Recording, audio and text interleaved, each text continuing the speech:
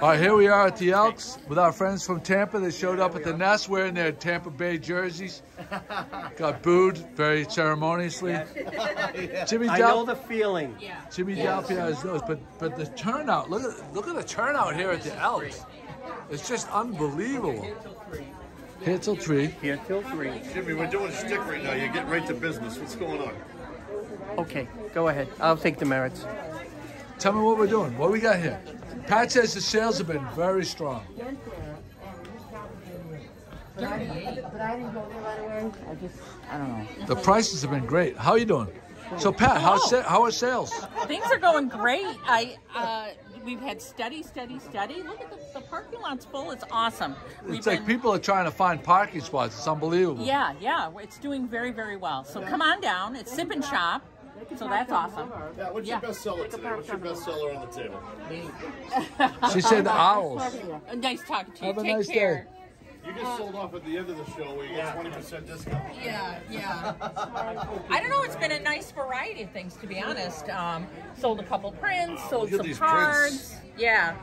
Um, yeah, so we've been very lucky. Joey, pan into this print for just a second here.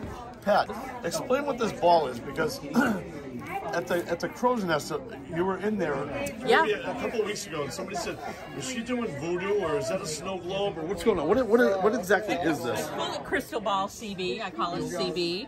It's a glass, solid glass ball. And this one happens to be about the size of my hand. This is Magnolia Beach. Um, and there's another one in here that's at, in Essex at the Marsh.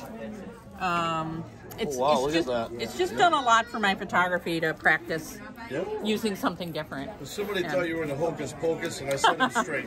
So no, people do ask about that. They they do wonder if it's some sort of well, because I call it crystal ball, maybe. Now I see a lot of different prints and cards over here. Uh, are, th- are these actually cards? Are these notepads? Or these what do you are these are blank note cards. That's kind of my main my main focus. Those are All- beautiful. All, printed locally at Cape Ann Giclee because it's definitely worth getting the prints done there. The colors pop.